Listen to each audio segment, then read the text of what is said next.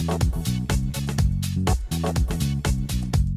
ックスタディ日本の歴史第6回目。6回目。はい、えー前回に引き続きですね。今回は幕末の京都での動きパート2ということで、ちょっと前回よりかこうより深めな深めな話で、話をちょっとね伺っていこうかなとちょっとねあの前回のパート1でちょっと喋りきれなかったというか、そのちょっと手前の段階ちょっと端折っちゃったんで、うん。それからちょっと入るんですけど、はえまずその西郷たちが活躍するちょっと前の京都。要するに新選組とかが来る前の京都っていうのはまあ最も初期の段階の幕末の志士たちが集まってやってたんですよ。うんうん。でその時主だった人の中で一人が長州の吉田松陰。はい吉田松陰。吉田松陰って長州なんですね。長州の吉そう。長州のあの兵法を教える家に生まれて、うん。将軍家とかにあの兵法を教えてる先生で。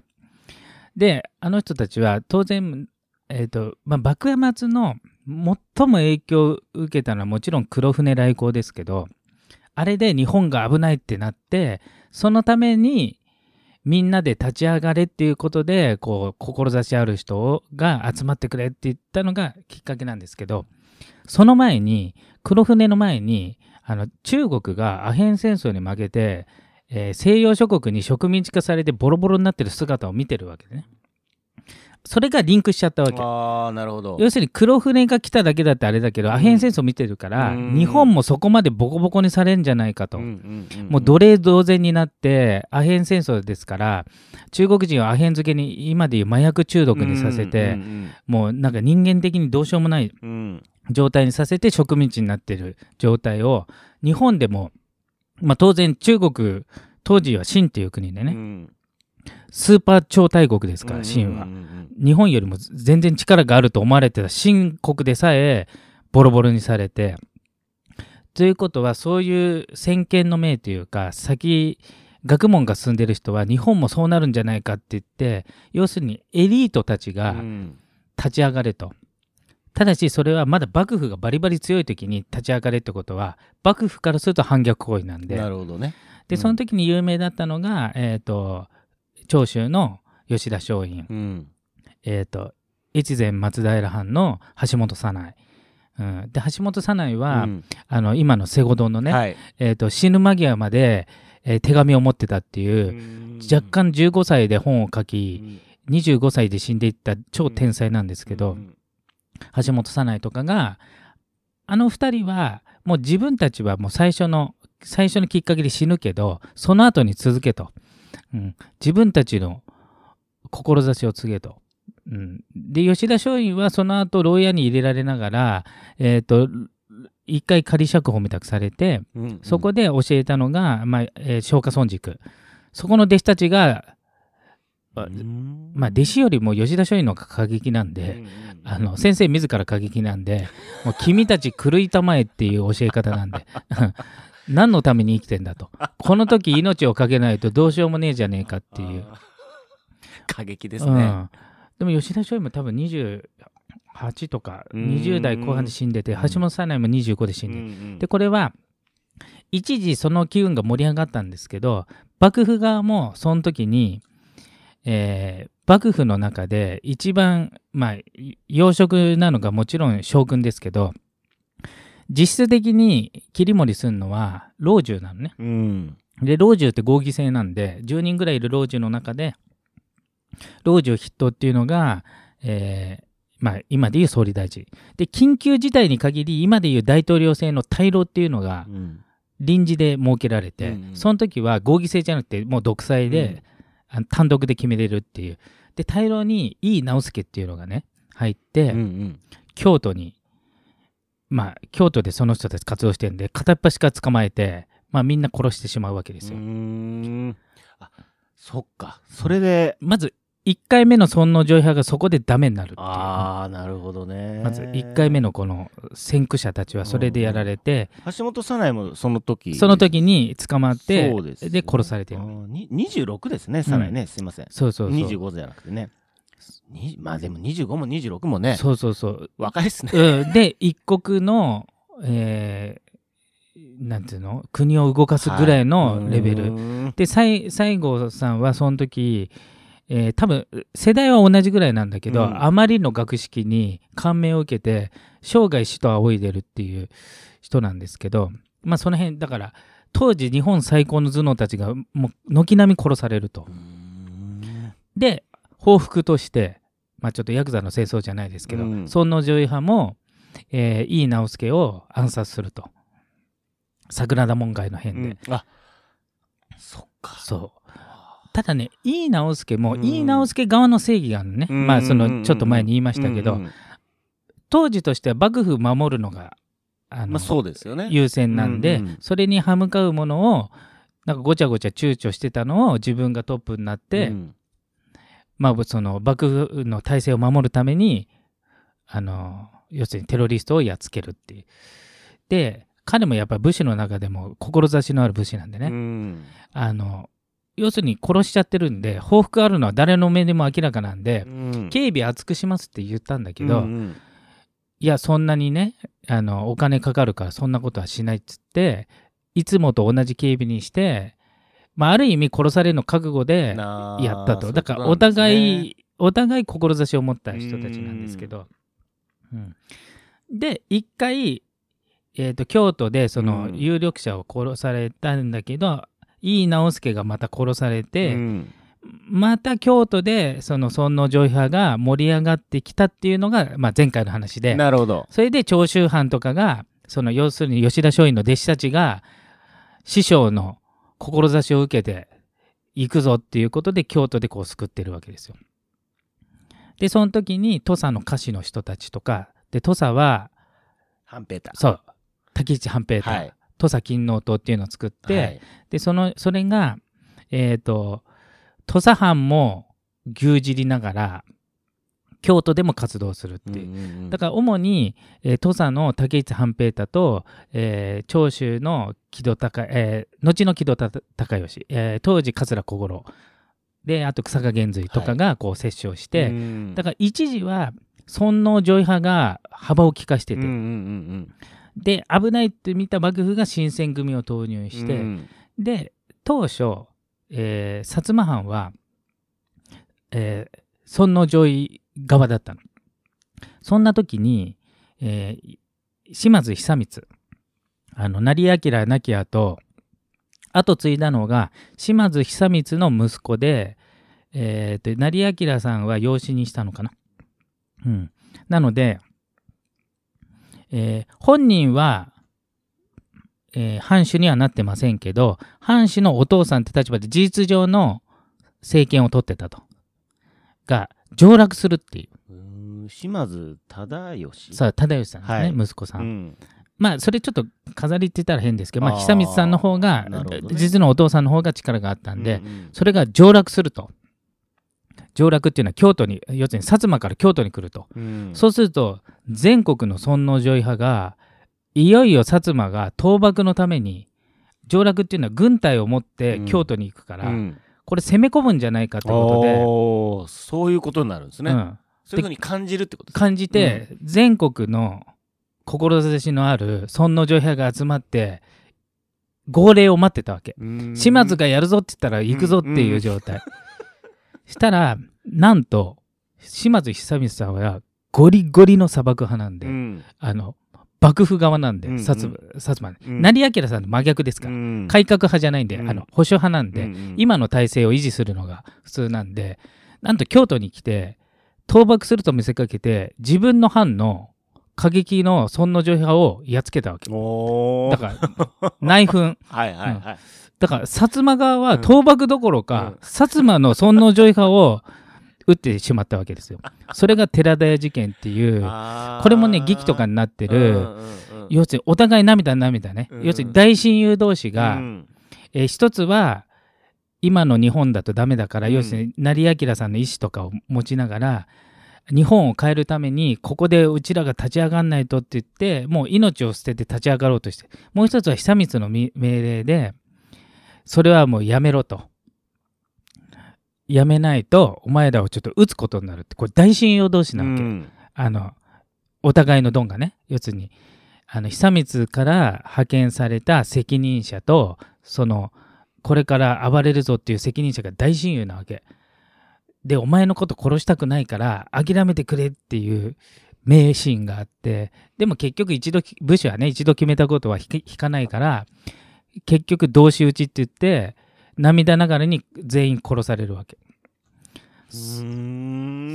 それで一時的にまた尊王攘夷派がくじかれて砂漠派が強くなっていくわけ。ですごい時代だなもう。そう。でその後に西郷さん率いる薩摩が、えー、なんていうのまあ、砂漠派にはなれないかこう後部合体派で、うんうんうん要するに朝廷と将軍を仲良くして、うん、薩摩とかその位置を上げると、うん、それに関わった人の政治力を高めるってことをこうやっていくんだけどそうした中要するに尊王攘夷派がこう追い出されるわけね、うん、その時に今まで仲間だと思ってた長州があ長州と薩摩が薩摩は会津藩とくっついちゃったわけ。これ秘密同盟。会津っていうのは京都を守ってた砂漠派のやつ、うんうんで、それ、あの、知らなかったの、長州は。同じ倒幕派だと思ってたら、よりによって、合図と組んじゃったのみたいな。それで怒り狂った、あの、長州の一部が、天皇に直接、あの、長州藩は正義だと、直訴するって言った時に、反対に打たれちゃったわけ。上がるなと。なるほど天皇に近づくなって言って、ボコボコにされちゃったわけ。それがね、えっ、ー、とね、金門の変とかね、うん、ハマグリ御門の変って言ったのが、うん、あそその前があったのかな、うん、ちょっとちょっと名前忘れましたけど、政変があって、そんで一回もう要するにえっ、ー、と長州派の過激分子は、薩摩会津連合軍に京都から追い落とされるわけ。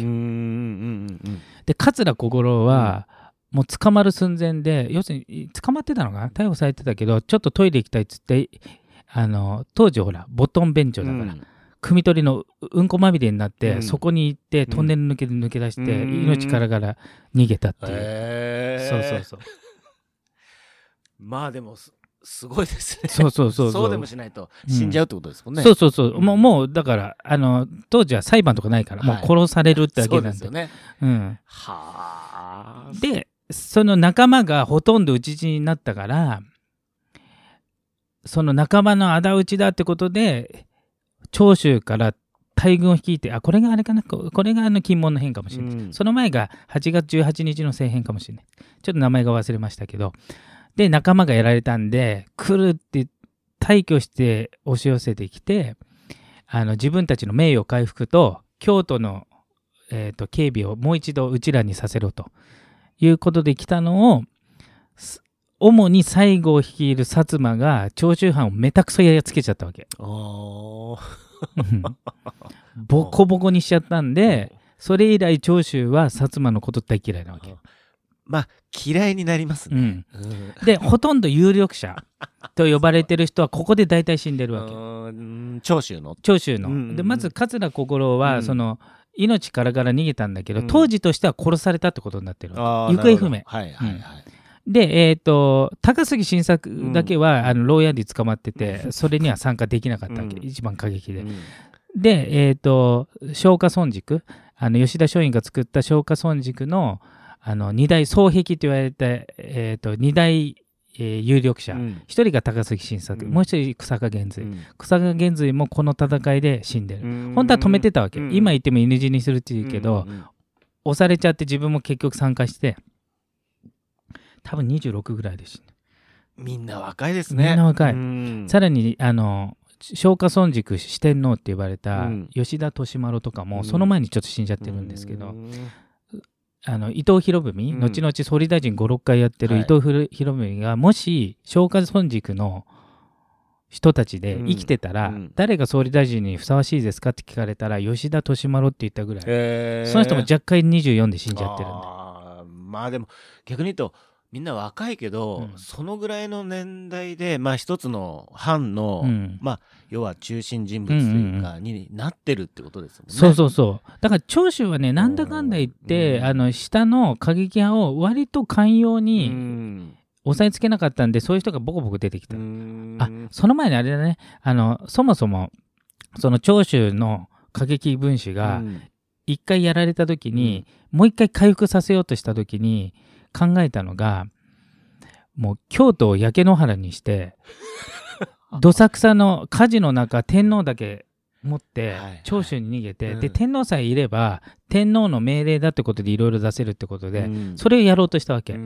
でそれを防御してた時に新選組に踏み込まれたわけ。ま池田屋事件っていうあ池田屋事件、うん。だからもしこれね新選組がうん。止めなかったら、うん。京都中火の海なんで、うん。今の世界遺産全部焼けてたの、そういうことですよね。うん。お寺も火放つ寸前だったんで。はあ、まあねどっちが正しいかっていうのはちょっと置いといて、まあさすがになかなか過激なんだけど長州はある意味今の話をこう聞いてる限り、うんなんか運がないんですよね。そうそうそうそう。志半ばというかね。そう。あとちょっとね血が上っちゃってあんまり戦略じゃなくて感情でこう動いててって。で、うん。あの薩摩とかはもうちょっと政治的に動いてるんで、うん。あの感情をコントロールできたっていう感じね。んんん。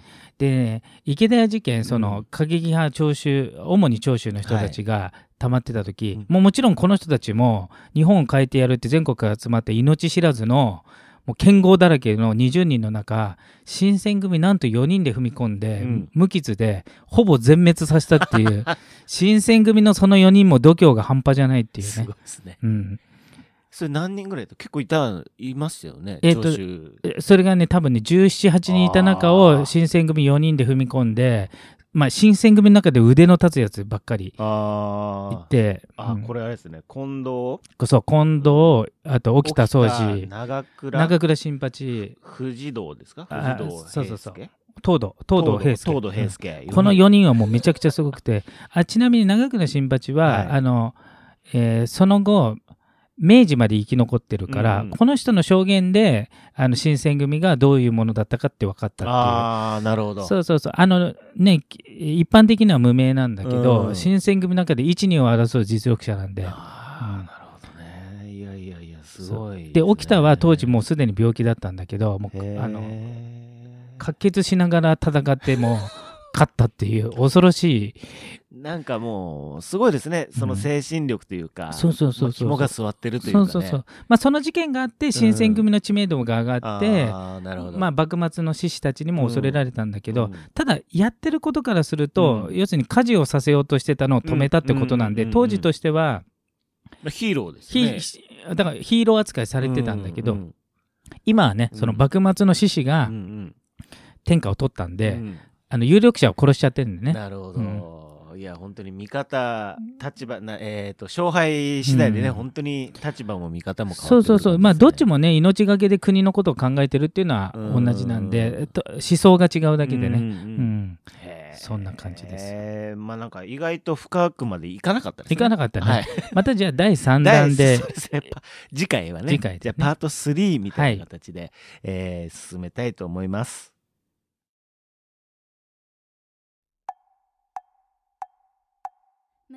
むくラジオだべ。むくむくラジオだべ。むくむくラジオだべ。